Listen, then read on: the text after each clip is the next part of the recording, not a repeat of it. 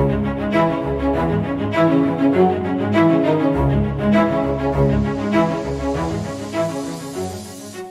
guys, welcome back to another video with InfoSec Pat. In today's video, we're going to be talking about the cap box from Hack the Box. I'm going to be doing like a full walkthrough and hopefully you guys find this informative. If you have any questions, please leave comments below. I'm more than happy to answer them to the best of my knowledge. So we're going to go ahead and um, compromise this box today. So if you guys are ready, let's get into it. Let's see what's uh, what, what this box is all about. So I have my IP address here as 10.129.147.15. So I want to copy that and let's open up. I don't have anything in that in this directory right now. So what I want to do is I want to run an nmap scan.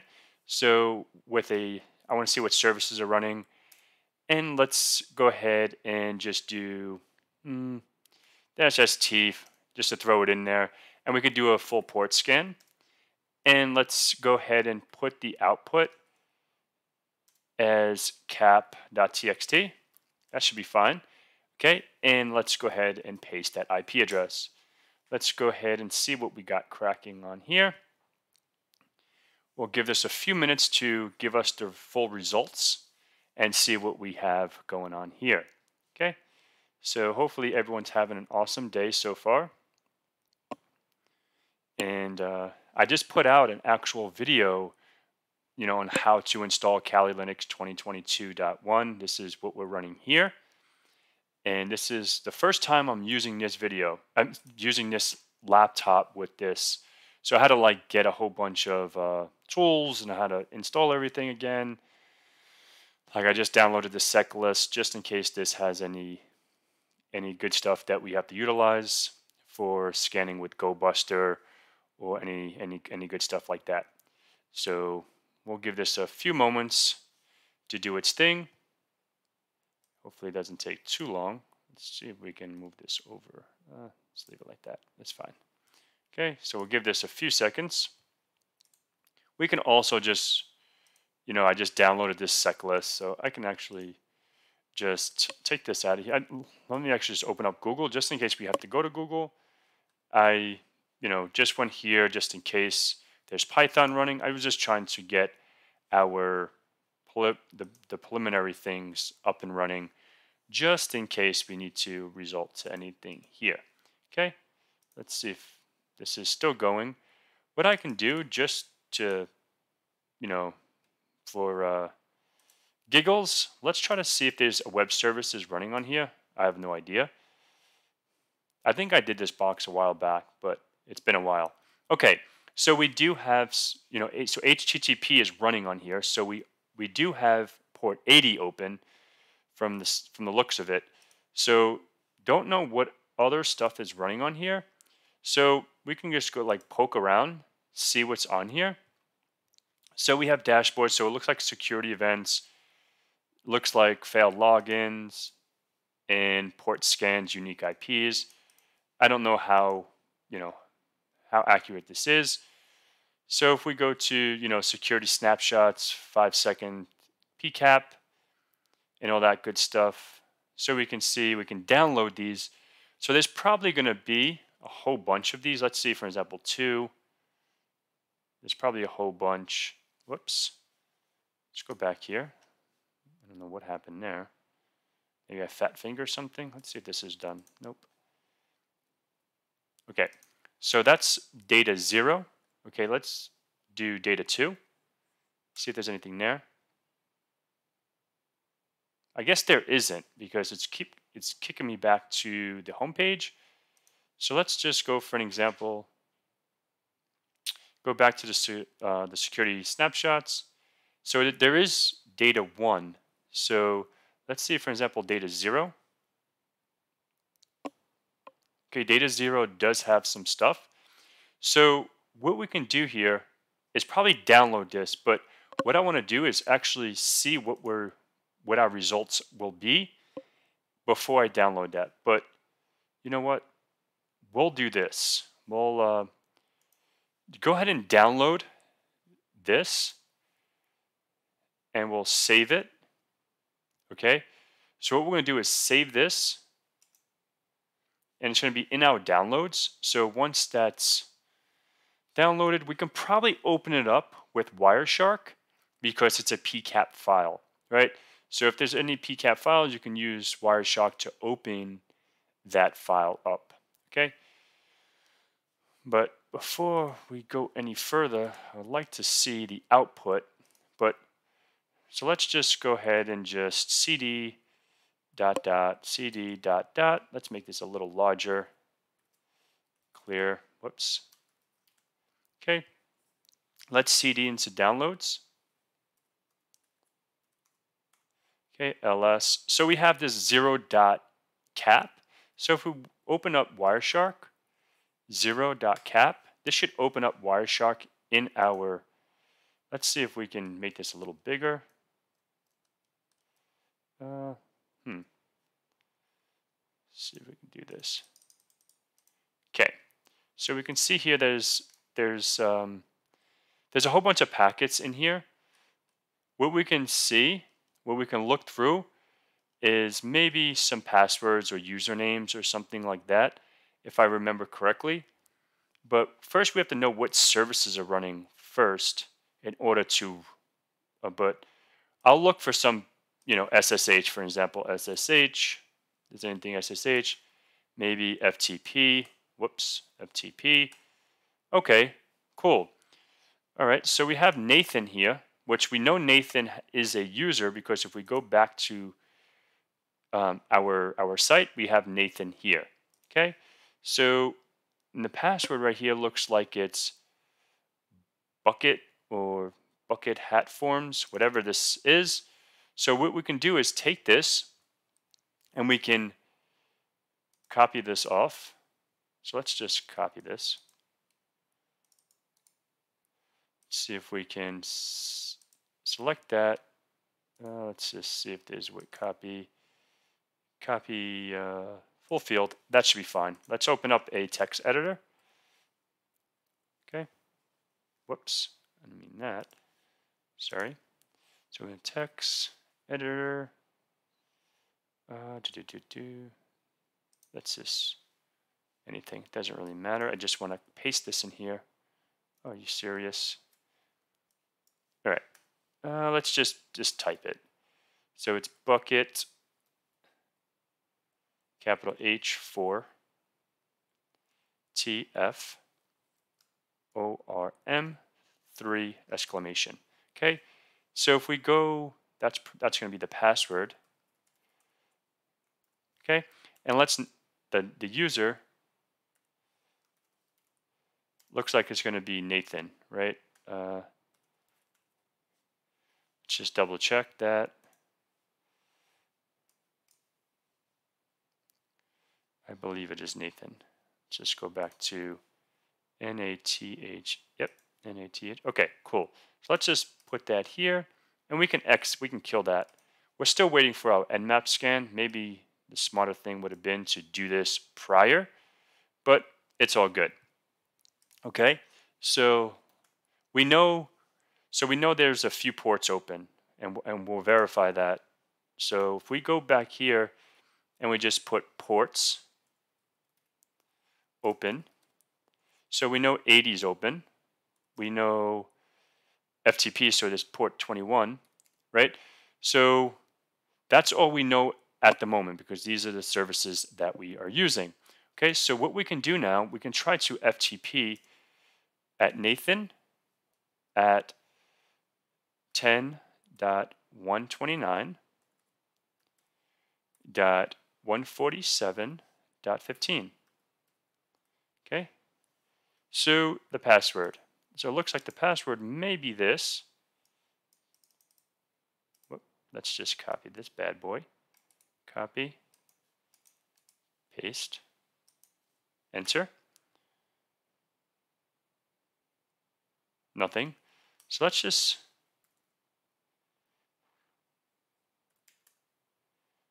So maybe that's not the the password for FTP.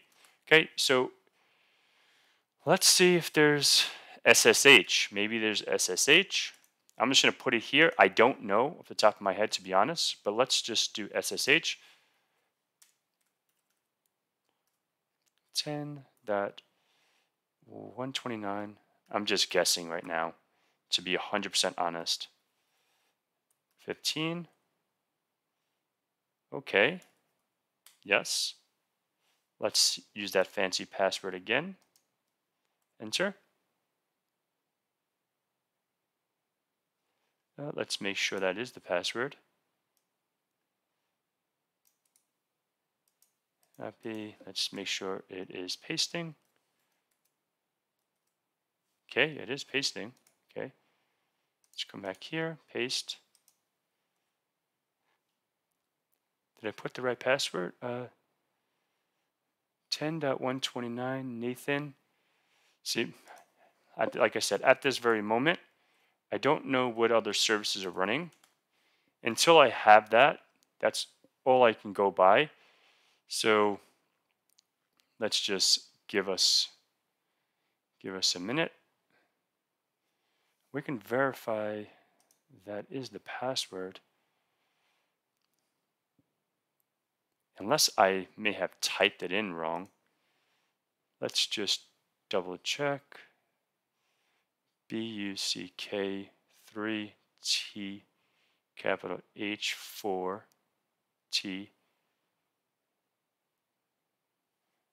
Let's just open that up really quick again, just to triple check. Let's do FTP and password.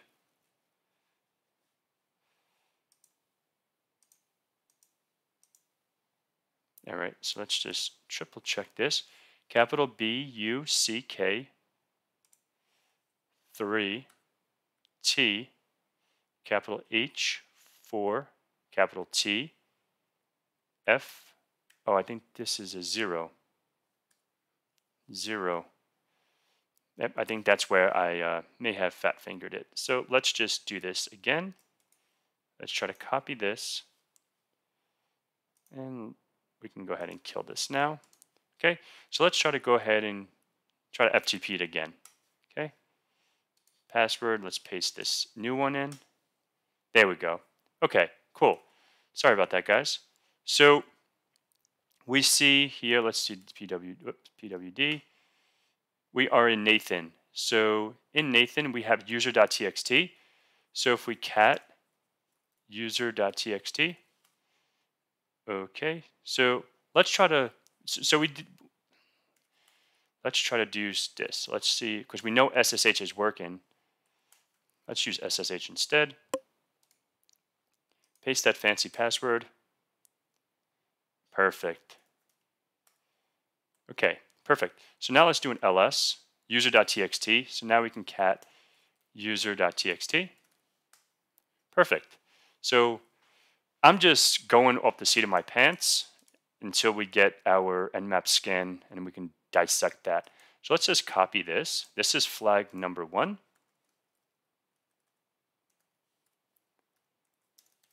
Okay, so now we have to get the flag number two, which is root. Okay, so now what we have to do, because obviously if we do a who am I, where I? And then we can just do a little end end and ID.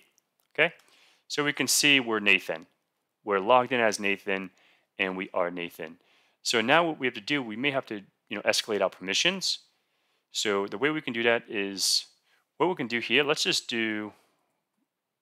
Let's see which Python is running here. Okay, Python so we have Python 3. Okay, so we can see that Python 3 is available.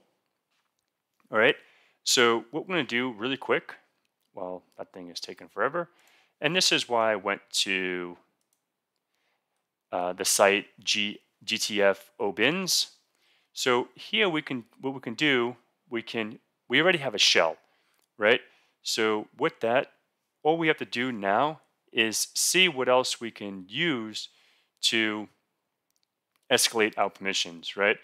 So I want to try to do something really quick just to see if it works. So we can come down here, we can do the compatibilities, and what we're going to do here is run this user, uh, user, where is it? Uh, do, do, do, do, do, do, OS, uh, imports.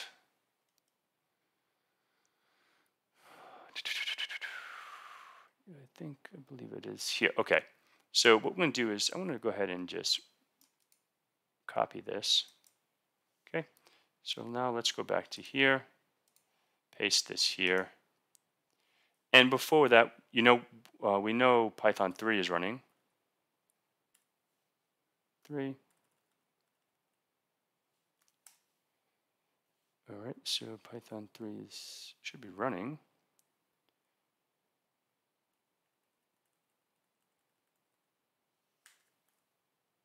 Whoops. Oh, crap.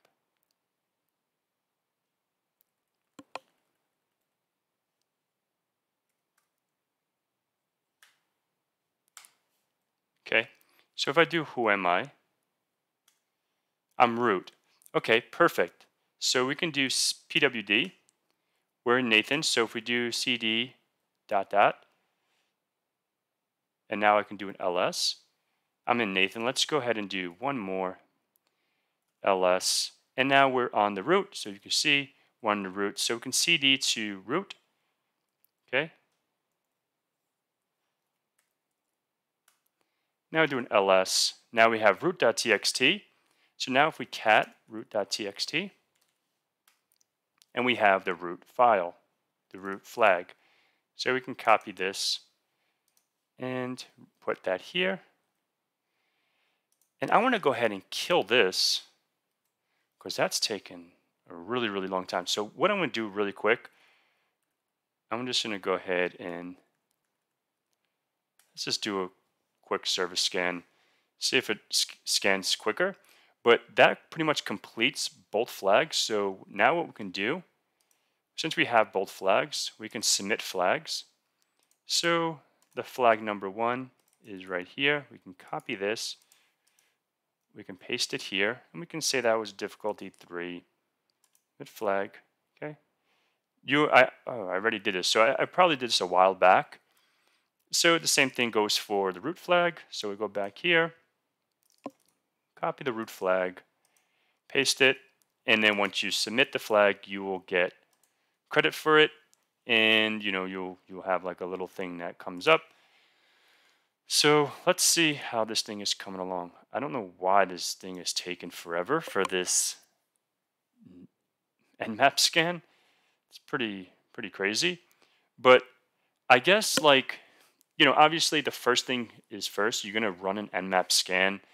And we were able to pretty much, let's exit here. Let's exit here. We can exit this machine. And let's exit this as well. Exit Okay, so now we just have these two screens. So that's pretty much concludes this video. I wanted to show you the Nmap scan, but as you can see, we have port 80 open, we had port 21 open, and port 22.